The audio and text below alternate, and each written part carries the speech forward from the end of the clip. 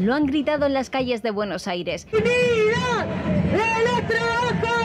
De forma unánime, los trabajadores piden salarios justos. Contra el hambre y la pobreza se lee en una de las pancartas.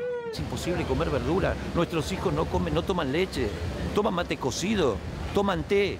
La leche dejó de existir en nuestros barrios. Te vas a comprar el aceite a la mañana a un precio, a la tarde a otro precio, la carne. La escalada de precios sigue imparable, 7,4% de inflación en julio, la más alta de los últimos 20 años. Ir al supermercado se ha convertido en un acto heroico para muchos. Parte el alma ver a la gente agarrando los quesos, mirándolos y dejándolos. Y aún con trabajo, los argentinos confiesan sienten asfixia económica. Porque pago todo el día, pero me cuesta llegar piden ayudas directas con carácter emergente y que no solo se pida esfuerzos a los ciudadanos. No hay un político de, ningún, de ninguna fuerza que ha dicho, señores, nos bajamos el sueldo. Mientras, el presidente Alberto Fernández, en un acto de entrega de viviendas sociales, ha asegurado que no se equivocó en la pandemia apostando por la salud, porque la economía, dice, está remontando. La economía se podía recuperar, lo que no podía recuperar eran las vidas, con lo cual el tiempo me dio la razón y estoy muy contento de haber tomado esa decisión. Y sin embargo, los argentinos se sienten sumidos en una crisis